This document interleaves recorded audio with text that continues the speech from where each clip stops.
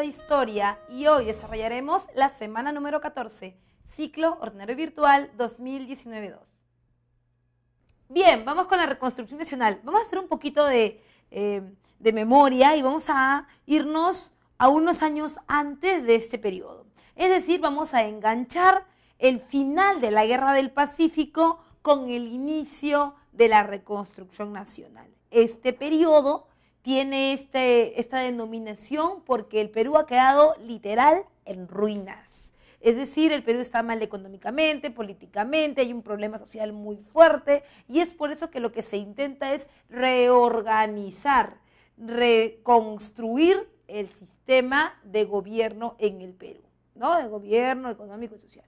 Ahora, la idea también es conseguir una clase dirigente, es una clase dirigente que no existe. Tú recuerda, cada vez que termina una gran guerra hay un gran problema en el Perú. ¿Y ahora quién va a gobernar? Nos pasó después de la guerra de independencia. Recuerda cuando eh, termina la guerra de independencia, Bolívar se va a la Gran Colombia y aquí todos se quedan peleando entre ellos. A ese periodo tú le llamas primer militarismo, ¿verdad? y ese primer militarismo comienza con el gobierno de José de la Mar. En este caso también es lo mismo. Termina la guerra del Pacífico y comienza un gran proceso conocido como el segundo militarismo. Y dentro del segundo militarismo, vamos a ponerlo así, dentro del segundo militarismo hay un periodo pequeño de introducción conocido como la reconstrucción nacional. En este periodo lo que vamos a buscar es reorganizar, como te lo había dicho, sobre todo la economía peruana. Y es que habíamos quedado después de la Guerra del Pacífico con una gran deuda. Acuérdate que los grandes impulsores y prestamistas de la Guerra del Pacífico habían sido eh, los capitales externos, en, en, algún caso y en menor medida Estados Unidos, y por otro lado también un poco Inglaterra. Entonces, después de la Guerra del Pacífico, vamos a necesitar cambiar este panorama. A este periodo lo conocemos como reconstrucción nacional. Entre sus características está la pérdida de la credibilidad del partido civil. Acuérdate que cuando terminamos la guerra del Pacífico, entre sus consecuencias hablamos del nacimiento del segundo militarismo, porque ya la gente no creía en los civiles como gobernantes. Acuerda que le habíamos dado una oportunidad a Pierola, García Calderón, a la puerta de gobernar después de la salida de Prado, pero ellos no habían logrado ni detener la guerra ni ganarla. Por lo tanto, eh, teníamos allí un problema, ¿no? Y este problema era que la gente no creía ya que el gobierno de los civiles fuera una buena idea en la medida en que todavía quedaban un poco de rezagos de la guerra, todavía había un poco de humo alrededor y es por eso que teníamos miedo de que los chilenos regresaran, volvieran a ocupar la ciudad de Lima y nosotros nos quedáramos en el completo desamparo porque un civil no podía manejar la situación. Es por eso que se echa mano de los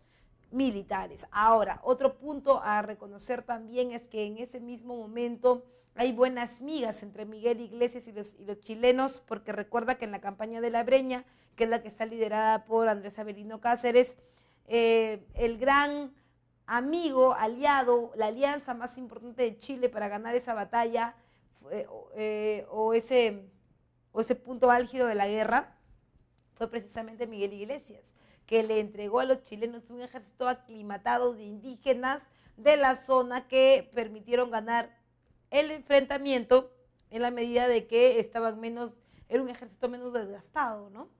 Por otro lado también está, eh, como te lo comentaba, la crisis económica y los problemas del sistema de comunicaciones. Los chilenos habían destruido nuestro principal sistema de comunicaciones interno, que eran los ferrocarriles. Recuerda que durante el gobierno de Balta habíamos hecho compras em, escandalosas eh, de, de medios de comunicación de transporte, como el ferrocarril que habíamos modernizado Lima, habíamos botado sus murallas y también el ferrocarril se había, se había hecho de manifiesto en otras zonas, como en el, en el caso de Tacna, Arica, Tarapacá, pero durante la guerra habían sido eliminados. Entonces todo lo que habíamos invertido en la supuesta modernidad de Lima, que iba a hacer que se pareciera el Perú a los Estados Unidos, ahora ya no existía porque la guerra había arruinado todo esto, ¿no?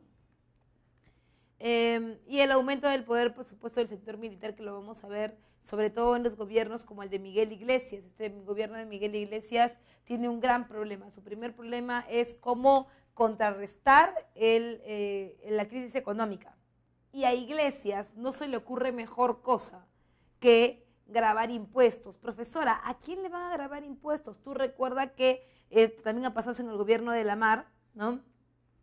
Con la rebelión de los iquichanos y que va, va a pasar con la rebelión de Tusparia, que desde Huaraz se revela en contra de la imposición de la contribución personal. La contribución personal es el, em, el impuesto que se le graba a los indígenas y solo a los indígenas en favor del Estado como una nueva forma de construir el ciudadano de la nueva república. El único problema de esto era que prácticamente por nacer marrón tenías que pagar, igual que en la primera parte de la, de la república. Entonces, a, lo, que, lo que la gente, igual que en esa época, le, le hacía ruido era realmente que eh, seguíamos estando en una sociedad totalmente elitista, de antiguo régimen, y que es más, la pista siempre se rompía por el lado más débil. ¿Cómo era posible que ellos, que habían estado durante la guerra de independencia ayudando y participando activamente dentro del ejército peruano, fueran ahora ellos el centro de la, del meollo económico y que se intentara que con su, con su contribución puedan eh, se pudiera arreglar algunos problemas económicos, ¿no? Es por eso que Tusparia se revela.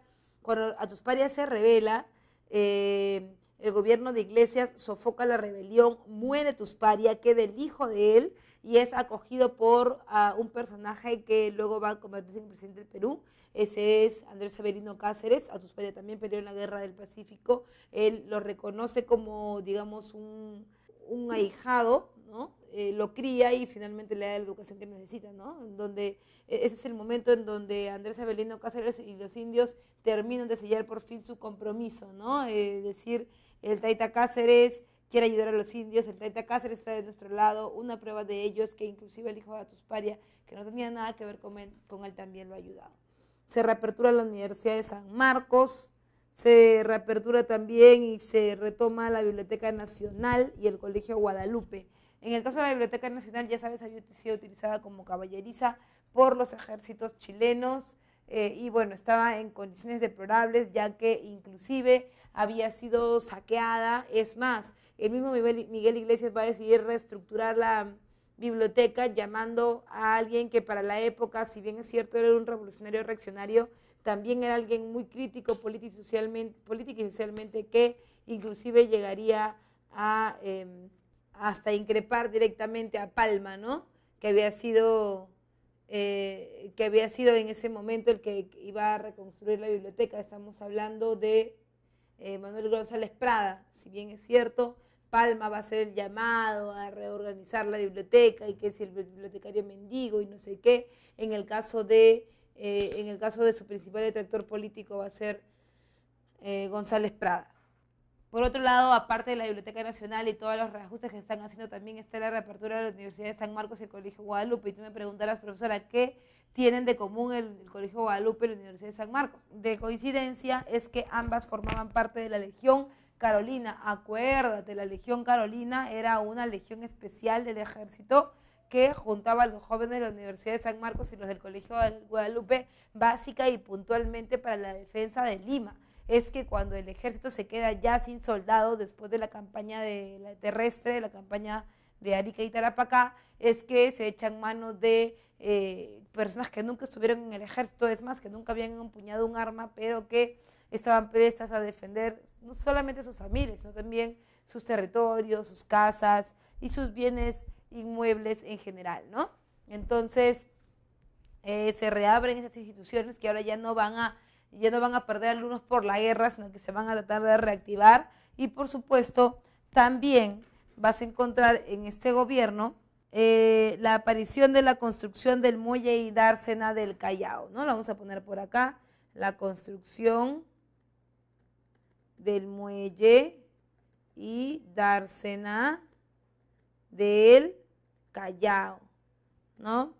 Eh, este muy dársena va a ser muy importante para las exportaciones de materias primas que el Perú va a venir realizando desde, muy terminada, muy rápidamente terminada la guerra del Pacífico hasta la era de los varones del azúcar, también conocida como la República Aristocrática. Muy bien.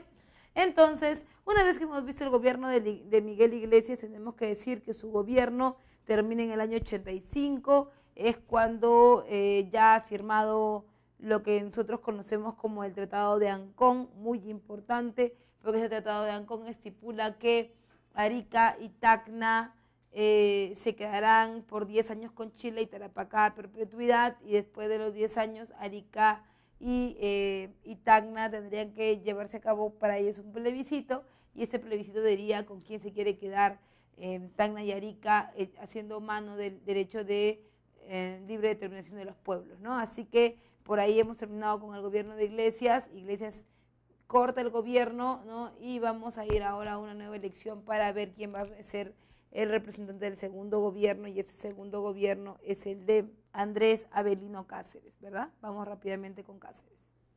Bien, el primer gobierno de Andrés Avelino Cáceres es para muchos, eh, digamos que la época dorada de Cáceres. Si bien es cierto, Cáceres no ha ganado la guerra del Pacífico, ha intentado resistir y esa resistencia no solamente ha hecho que el Perú dure más tiempo en la guerra, sino también que de cierta manera creó algo de conciencia en, el, el panorama nacional en relación a que va a involucrar a los indios, a los negros dentro de la guerra y va a intentar crear condiciones para que el Perú se convierta en una república y estado más unificado. Lamentablemente después de la guerra y por las crisis económicas, problemas políticos y sociales no lo logró.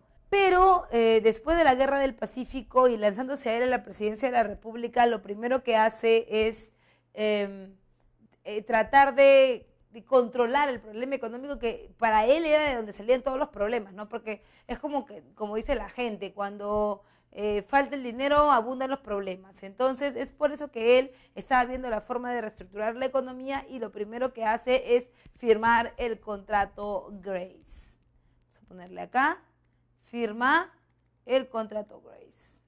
Y la pregunta es, profesora, ¿qué cosa es el contrato Grace? Muy bien, es el contrato que buscaba eliminar por completo la deuda externa. Deuda externa que arrastrábamos desde la guerra de independencia y que no habíamos podido pagar, pero que el Perú había decidido financiarlo con una casa económica llamada la Casa Grace. Ahora, la Casa Grace se comprometería al pago de la deuda externa y el Perú se, entregaría, se comprometería a la entrega de concesiones. ¿Qué es una concesión? Es entregarle un recurso o actividad importante a, eh, a una institución, en este caso como en la Casa Grace, que pues, te va a hacer un contrafavor, te va a hacer un contrapago, ¿no? Entonces, el Perú le entregaría concesiones, es decir, le entregaría cosas que el Perú tenía a cambio del pago de la deuda externa. Por ejemplo, le entregaría ferrocarril, lo que queda de guano,